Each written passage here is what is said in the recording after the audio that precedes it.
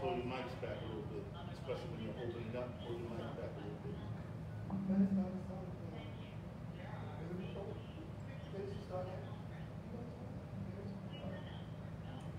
Good morning, everyone. This is Pastor McDowell.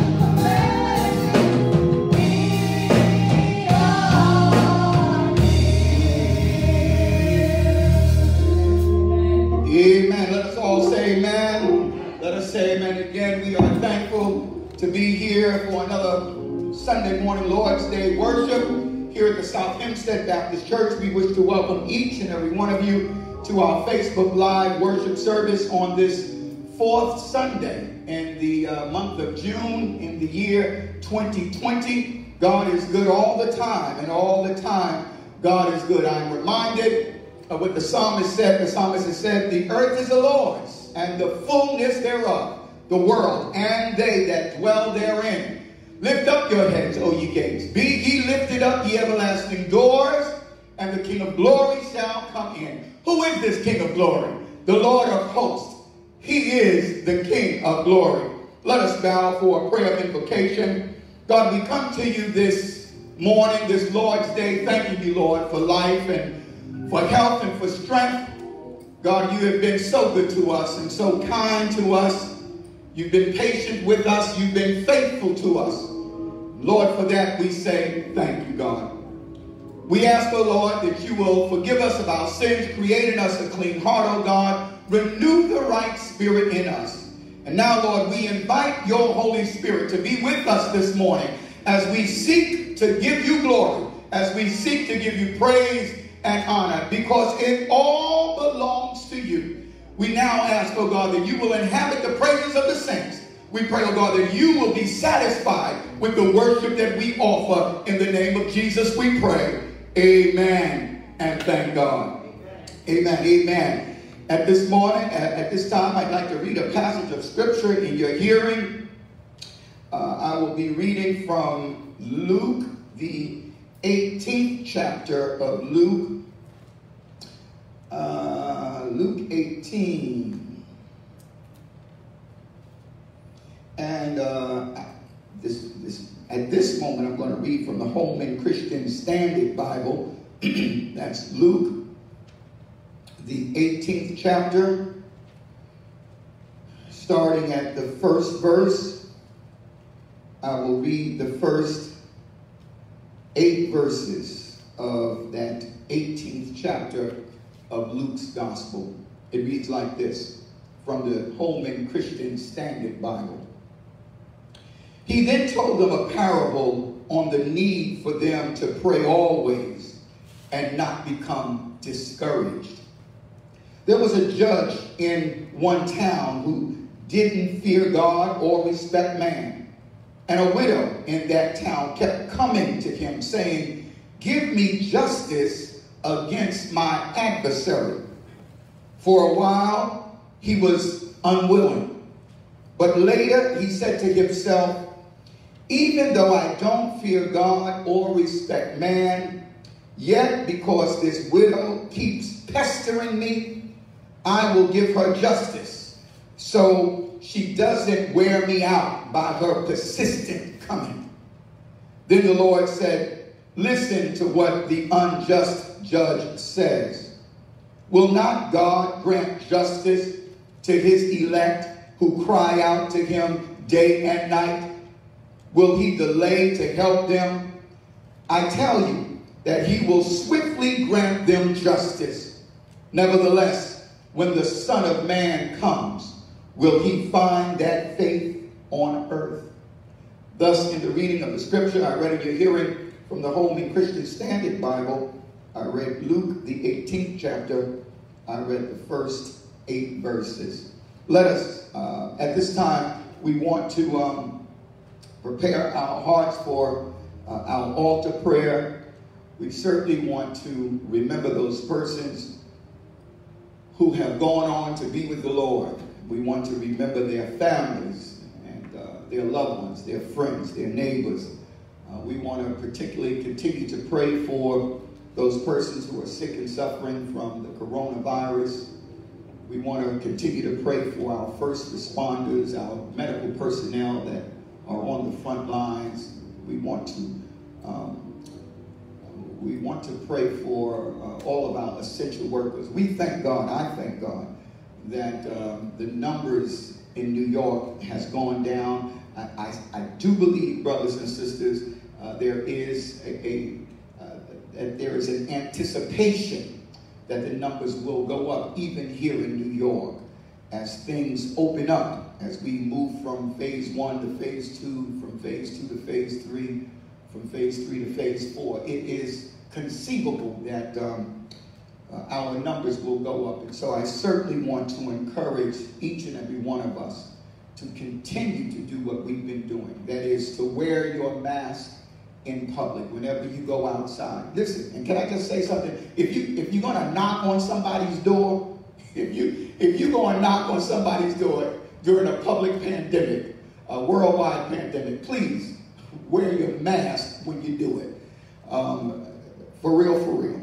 Um, and then you want to keep your distance. Amen. Keep your distance. Uh, they're saying at least six feet. There's nothing wrong with keeping uh, more distance than that. We want to certainly encourage you to wash your hands frequently. And uh, you can walk around with sanitizer, do that also. And so we certainly want to encourage all of us to continue to be steadfast uh, in our endeavor to be safe from the coronavirus. We want to pray for the members of South Hempstead Baptist Church, all of our officers, all of our leaders, all of our auxiliaries. We want to pray for uh, pastors all over these United States, all over the world, men and women who are standing before God's people in these challenging times to uh, encourage them to hold on to God's unchanging hand. And so we certainly want to uh, pray for uh, pastors throughout the world and pray for every congregation that gathers in their homes or wherever they're gathering, that gather in the name of Jesus. For we know that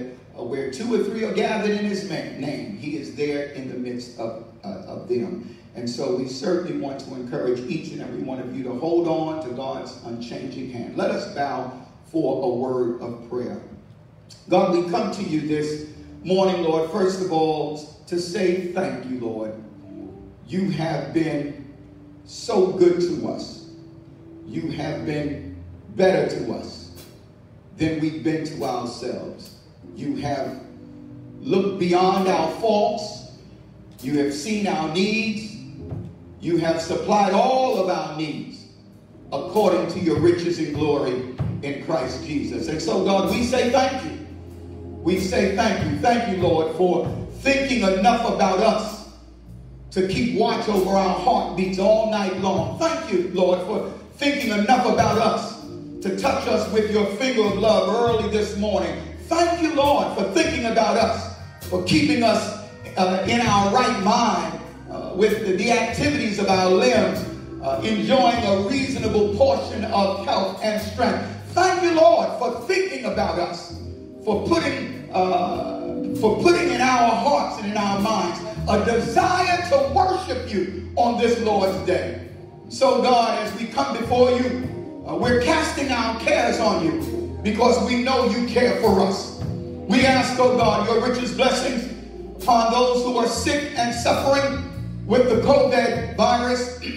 we ask, oh God, that you'll bless those persons who have uh, uh, uh, who are caring for the sick and the dying. We pray, oh God, that you'll bless the families, those who are in bereavement, who have lost their loved ones, who have been called from labor to reward. Let them know that earth has no sorrow that heaven cannot heal. And so, God, we just pray, oh Lord, your richest blessings on, on all the first responders, all the medical personnel, all the essential workers. Lord, we're praying for our seniors, Lord. We're praying for our young people. We're praying for our children. Lord, we're praying for each and every one of us. We're praying for every pastor that stands before your people to declare what thus saith the Lord. Grant them words from on high, words of encouragement to give to your people during these trying times.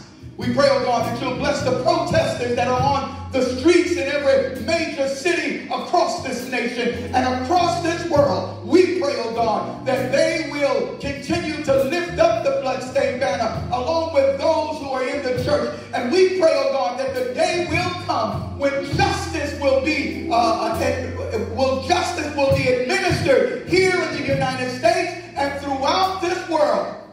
So God, we just pray that you'll just continue to have your way in our lives. Now, God, we pray that you will help us to live our lives so pleasing in your sight that when it is your time to call us and our time to answer, we pray that we will be ready. And then, Lord, until that time, we just want to tell you that we love you, Lord. We want to tell you that we adore you. We want to worship you. We want to exalt you. We want to glorify you. We want to magnify you. We want to lift you up and to give you all the praise, all the glory, and all the honor. Lord, help us to live right. Help us, Lord, to be ready. Help us, Lord, to be able to hear your welcome voice saying, Well done, my good and faithful servant. Lord, these and all other blessings we ask and we declare in the precious and in the powerful name of Jesus. And for his name we pray. Amen and thank God.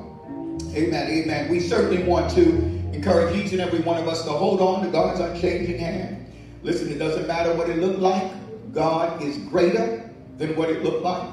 And so we certainly want to encourage each and every one of you to don't let go. Amen. God will never leave us. God will never forsake us. I'm, I'm under the impression that even when you want to let go, that God is able to keep you from falling and to present you faultless before his presence with exceeding joy. And so we certainly want to thank God for the privilege and the power of prayer. At this time, brothers and sisters, we want to prepare uh, our hearts and our minds for, um, for our uh, offering.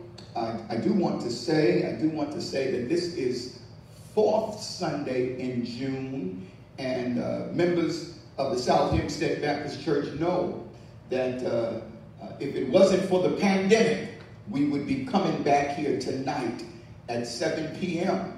to help our ushers celebrate their annual day. And of course, uh, everything is on pause now as far as anniversaries and activities.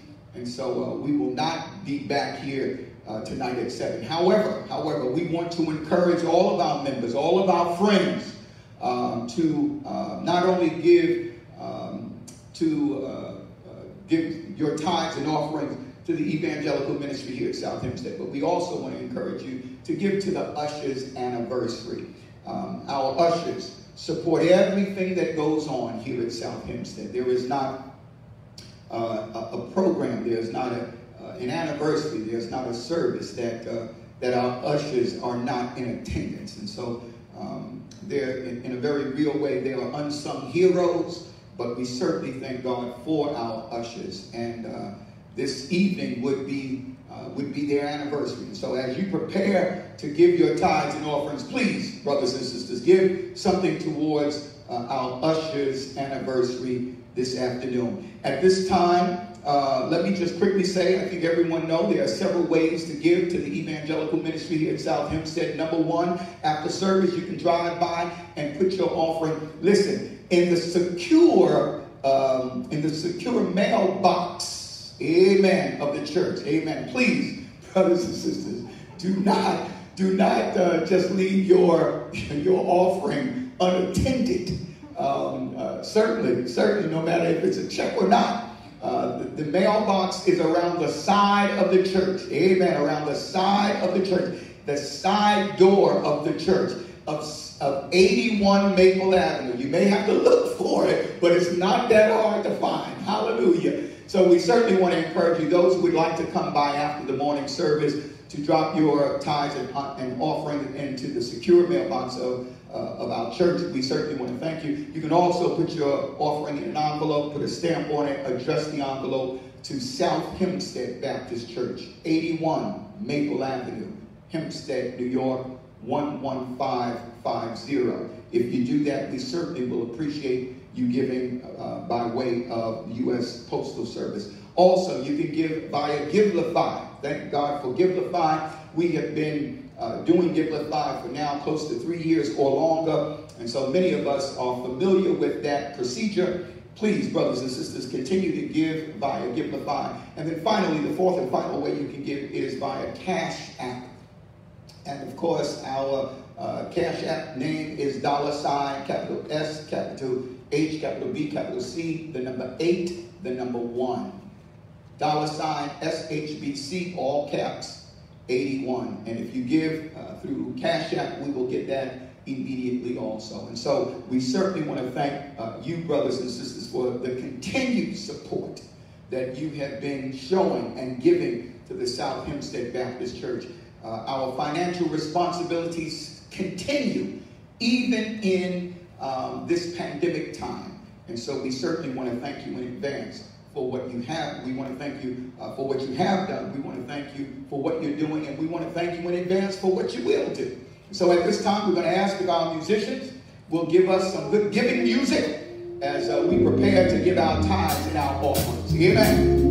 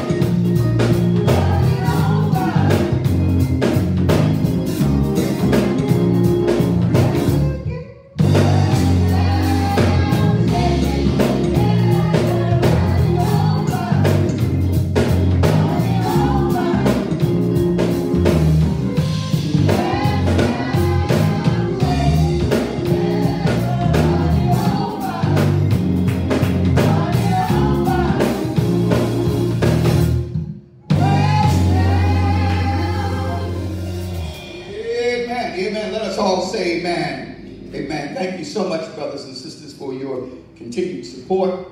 Um, we certainly thank you. All that we do here at South Hempstead, we're able to do it because of your generosity, because of your support. I do not want anybody to think I take your giving for granted. I do not. I'm keenly aware that people give because they want to particularly support that particular branch of Zion, particularly uh, support that, that ministry. And so for that, we say thank you. Let's bow for a word of prayer. God, thank you, Lord, for these gifts. Thank you, Lord. We pray, oh God, that you'll multiply them, sanctify them. May they be used for the purpose in which they are given and received. Bless, Lord, not only the gifts, but bless the givers. Thank you, Lord, for their cheerfulness, their obedience, their faithfulness, and uh, their generosity. We thank you, Lord, for the gifts and the givers. But then, God, we pray that you'll bless even those of us who may not have had to give today.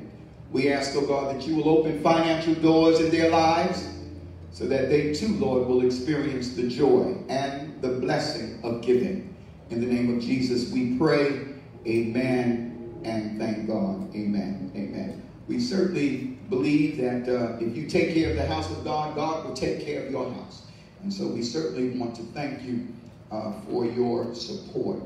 Uh, at this uh, time, before we ask our music ministry to come back, uh, I certainly want to quickly announce that this coming Tuesday, this coming Tuesday uh, at 7 o'clock will be our final uh, Bible study uh, class uh, for this session. Amen. After, to, after Tuesday, we will break for the summer. We will break during the month of July, August, and a portion of September. We will resume Bible study uh, the Tuesday after third Sunday in September. So uh, I certainly want to encourage you, if you have not uh, participated in our Bible study, uh, this coming Tuesday, uh, you can get your foot wet uh, by, by tuning in our Zoom Bible study. If you want to be a part of our Bible study, I need your email address. I need your email address so that I can send you the invitation uh, to, um, uh, to Zoom. So we certainly want to uh, encourage you to do that. On Wednesday at 12 noon, on Friday at 7 p.m., we have prayer service. Uh, we thank God for those who are supporting our prayer service. Thank you so very much.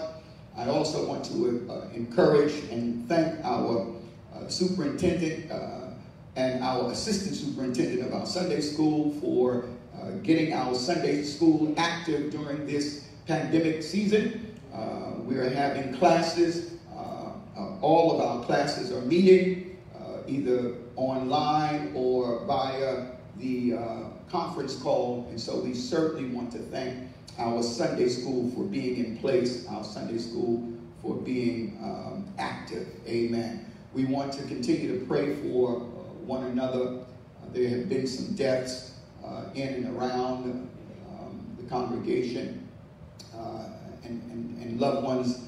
So we certainly want to continue to keep one another in our prayers. At this time, at this time, we're, we're so happy to have our music ministry with us. We're going to ask if they will come now and bless us with a selection of their choosing. Let's say amen as they come forward. Amen. Amen.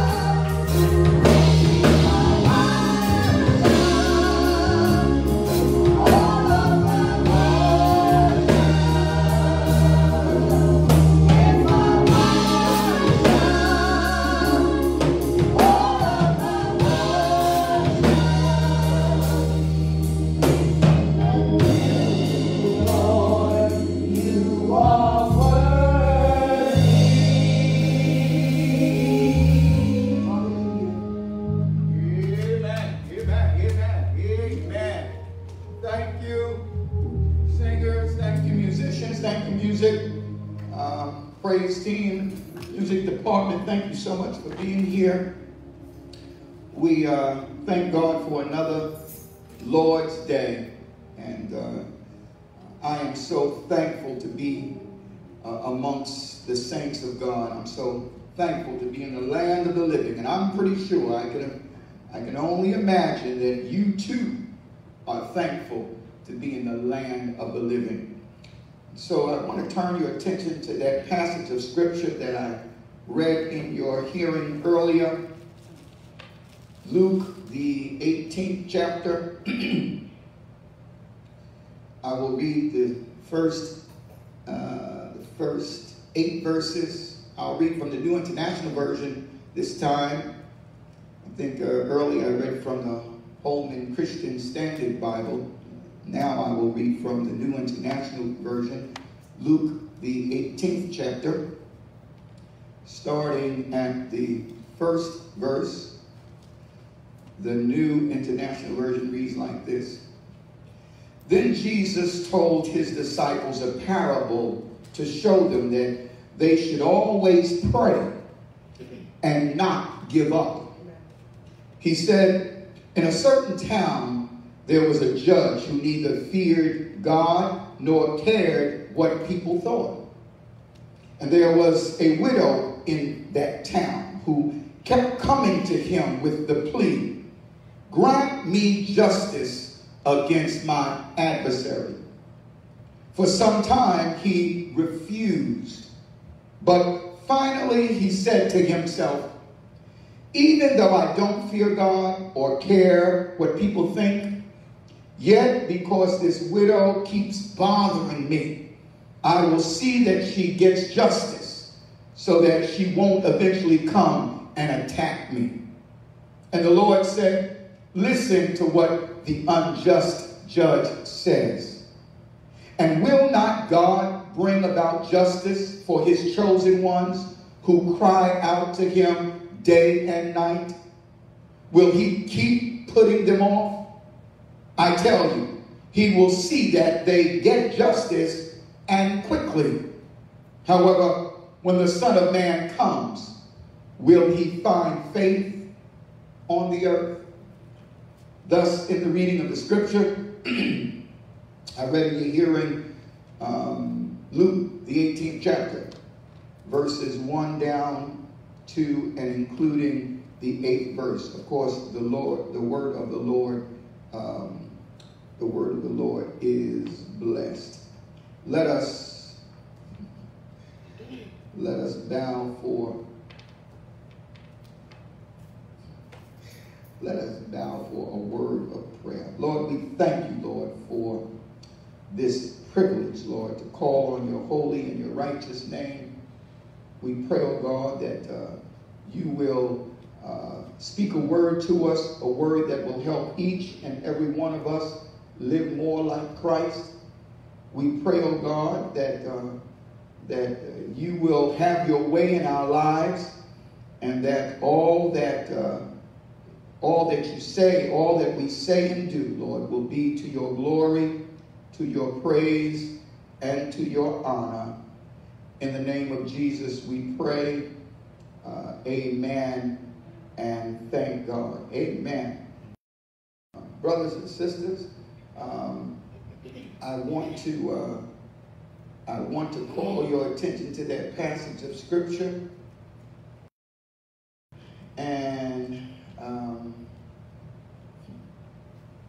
and preach from the subject. Always pray and never give up. Always pray and never give up. You know, you know, you know, I, I'm having challenges up here, right here, right now. Is that something? That's all right. Uh, you know what they say? The devil is a liar. That's what they say. Amen. Amen. Uh, always pray and uh, and never give up.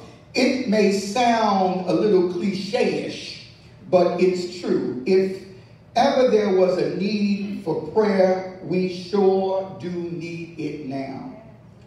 We are living in a time which is difficult to find a comparison. We have never been in a place like this before, certainly not within any of our lifetime. First of all, uh, we are in the middle of a worldwide pandemic. As of yesterday, nearly 10 million cases of the coronavirus have uh, been confirmed worldwide, with nearly half of them ending in death. Here in the United States, over 125,000 people have died from this dreaded disease.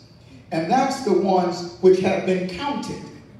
Only God knows how many people died from the disease who were not counted. We have a president and a vice president who refuse to take this pandemic seriously. Instead, they play down the ravage it is causing our nation.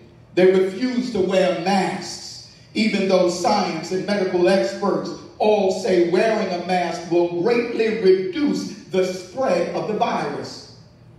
They have politicized wearing masks.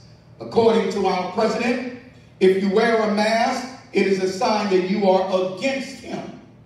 And if you don't wear a mask, it's a way of showing your support for him. How silly is that? Wearing a mask should have nothing to do with being a Republican or a Democrat, a, a, a Trumper or a never Trumper. Wearing a mask is about containing the virus and not affecting others. It's about not passing on the virus to the elderly and those with underlying health challenges. Secondly, while in the midst of this worldwide pandemic, we are confronted with social and racial unrest here in America and abroad. Uh, uh, it, it took the death of George Floyd, captured on cell phone video for the whole world to see before white people in America began. Just maybe blacks are being mistreated by police officers. One would have hoped the death of Mr. Floyd would have brought an end to police brutality suffered in the black community, but not so. Almost every other week, we are still hearing about the death of black lives at the hands of police. Illegal chokeholds being administered to the throats of our young black men, and the injustice that permeates our criminal justice system. Black Lives Matter is more than a slogan, more than an idea conjured up in the minds of a few rebel rousers. It is not a domestic terrorist organization that needs to be put down by militarized police or a passing fad that will be forgotten by next year this time. Rather, it is an undeniable truth whose time has come and cannot be denied. Black lives do matter, and the sooner America accepts this fact, the better she will be. Finally, let me remind you, let me remind us that we are less than 20 weeks away from our national election to either keep our present president or to unseat him, even before becoming the president of these United States. This man bragged about being able to stand in the middle of Fifth Avenue and shoot somebody and not lose voters. He was recorded on tape admitting to molesting women and getting away with it. He called out black athletes sons of female dogs. The city of Baltimore, where there is a large number of black residents rodent infested, and several African countries dung holes. I can't imagine there are people who want this man a second term. But the truth is, there are people who want exactly that. And they will go out on November 3rd and cast their vote or vote by way of absentee ballot. That's why, brothers and sisters, it is imperative that those of us who are not registered to vote get registered. And those of us who are registered, make sure you do vote. Come hell or high water. Don't let anyone stop you from casting your vote. So many of our foreparents died horrible deaths just so you and I would have the right to go to the polls and to cast our vote. Come rain or shine, cast your vote, brothers and sisters. The future of our nation depend upon it. And so when I say, if ever there was a need for prayer, we sure do need it now. I need it. Uh, there's a whole lot we need to be praying for. Our families, our churches, our communities, our nation, uh, this world, and for one another. With so much to pray for, so many ills of society looming large before us. One might be tempted to believe their individual prayers cannot possibly amount to any much, to anything. Someone might think, what effect can my prayers have on my life or the lives of those around me? As quiet as it's kept, I'm sure there are those who should know better, but who deny the very power of prayer. They cannot wrap their heads around the fact that the God of this universe can and does hear the concerns of the afflicted, the downtrodden, and the outcast. But thanks be to God, the Bible offers ample evidence that there is power in prayer. Whether it was the cries of the children of Israel while being in Egyptian bondage, or Daniel praying in the lion's den. The Bible is clear. We serve a prayer hearing and a prayer answering God. That's why I chose to look at this particular passage of scripture this morning. It comes from Luke, the 18th chapter, verses 1 through 8. This pericope is often referred to as the parable of the unjust judge and it's found only in Luke's gospel. We all know what a parable is.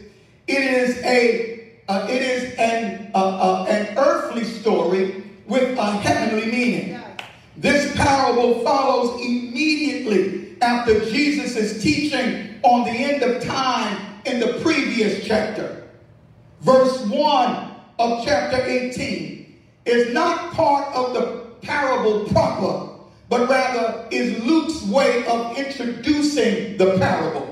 He writes, Then Jesus told his disciple a parable to show them that they should always pray and not give up.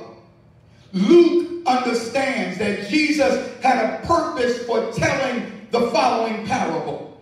And that purpose, and that purpose was simple to teach his disciples his followers the importance of being patient, persistent, and persevering in prayer. What a lesson to learn. What a lesson to remember. Prayer is not something you do once and then forget about it. It's not a hit or miss kind of activity. Rather, it's something that you start and stick with and keep at until you receive the desired result. Prayer is not for the faint at heart or for the fly by night. It is not for the impatient or the spiritually immature who want what they want when they want it.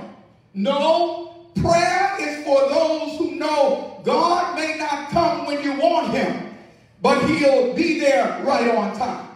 Prayer is for those who are willing to hang in there no matter what it looks like.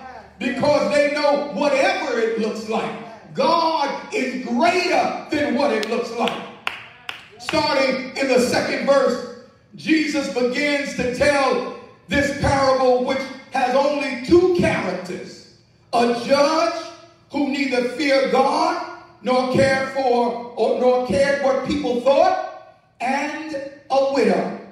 This judge was controlled only by his own ideas and inclinations, concerned only about uh, his own career and his own pocket. This widow was surely a symbol of helplessness One was arguably the most powerful man in town. The other was at the bottom of the social economic standing in society. The widow had no husband to support or defend her, no adult son to speak on her behalf. She had to rely on this unjust judge and the, and the justice system of her day to right the wrong that had been inflicted on her. The Bible doesn't tell us what her problem was or the cause of her concern. It merely says she kept coming to the judge with one simple request grant me justice against my adversary. If she had the resources, she could have bribed the judge. But being poor and defenseless, she was armed with nothing but the fact that right was on her side. For she asked for justice, not vengeance. And she was armed with her own persistence. Day in and day out, she came before the judge with one plea only avenge me of my adversary. She did not waver in her appeal. She did not add to nor take away from her heart's desire. She was steadfast, unmovable, patient, persistent, and persevering in her request. But despite her consistency, the parable says for some time the judge refused. Can you imagine how this widow, this woman must have felt? Every time she asked, she received a negative response from the judge. Had that been some of us, we would have given up asking, turned our back on the judge, and never would have asked him again. But that's the very point of this parable. This woman did not give up. She asked and kept on asking. She knocked and kept on knocking.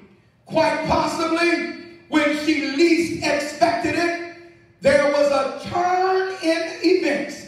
Something happened to the unjust judge. He finally said to himself, even though I don't fear God or what people think, yet because this widow keeps bothering me, I will see that she gets justice so that she won't eventually come and wear me out. It's interesting because the Greek literally means so that she won't eventually come and give me a black eye. In verse 6, Jesus says, listen to what the unjust judge says. The application of this parable is from minor to major, from the less from the lesser to the greater.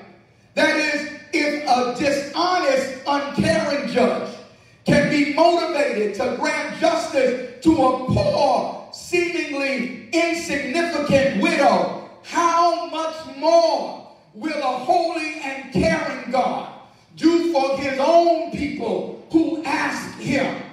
This parable teaches that persistent prayer pays off. So whatever you do, don't stop praying. Don't stop praying for your family. Don't stop praying for your neighbors. Don't stop praying for this country. Don't stop praying for this world. But it also teaches something about the faithfulness of God Himself. Our cries do not fall on deaf ears, my brothers and sisters. There is a God who sits high and looks low. And he will bring about justice for his chosen ones. Those of us who cry out to him both day and night. He sees and he knows and he cares. I know this might sound strange to some, but in the grand scheme of things, in the eyes of God, justice denied, justice delayed is not justice denied. God's name is on the line. His reputation is at stake.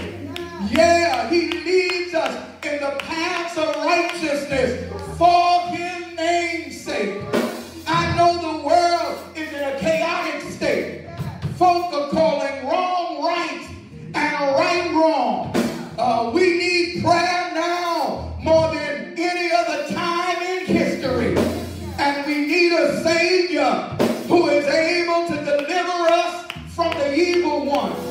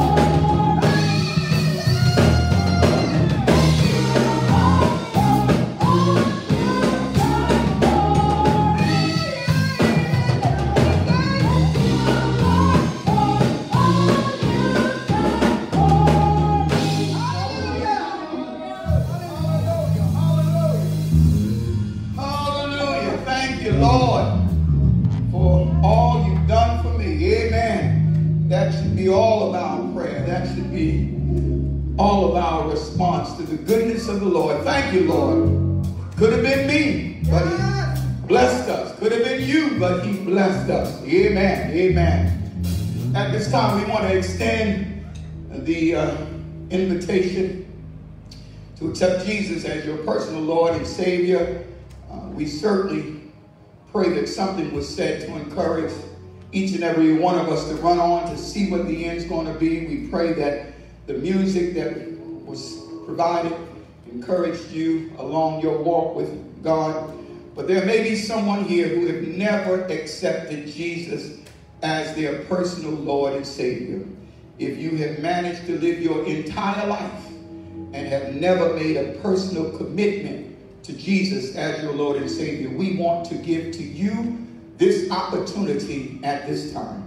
And so, if there are any that uh, have heard the message, have heard the singing, have been moved by the Holy Spirit, who would like to give their life to Christ, we simply invite you to bow your head and close your eyes and repeat this simple prayer after me.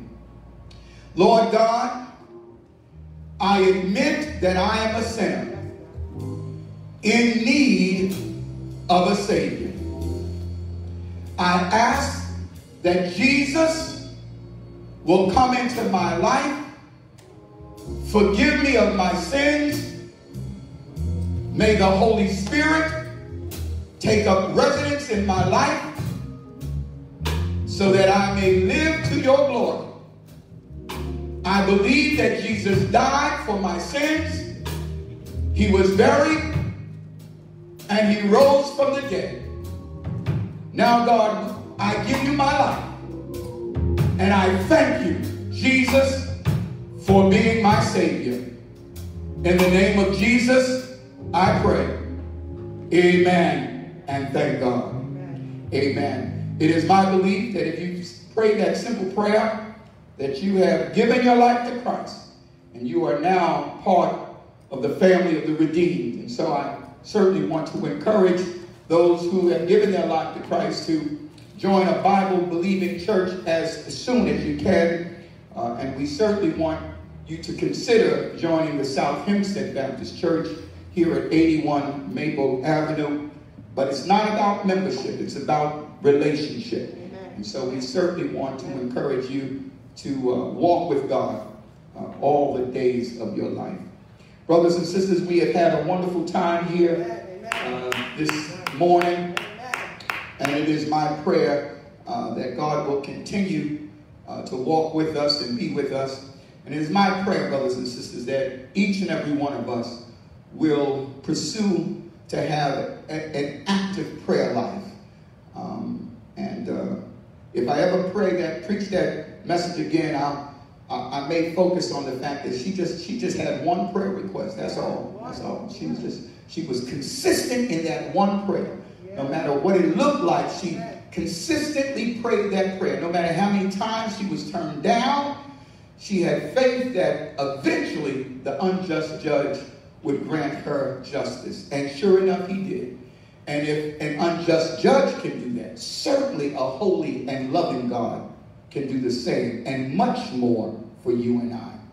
So we thank you, brothers and sisters. If all hearts and minds are clear, let us bow for our closing prayer uh, and benediction. God, thank you, Lord, for this worshiping service. We thank you, Lord, for what our eyes have seen, what our ears have heard, what our hearts have felt. We ask, oh God, that you'll continue to be with us, walk with us, stand by us, protect us, bless our going out and our coming in from this day forth and even forevermore. Now unto him who is able to keep you from falling and to present you faultless before his presence with exceeding joy. To the only wise God who is our Savior, be glory and majesty, dominion and power, both now and forever. Let us all sing together.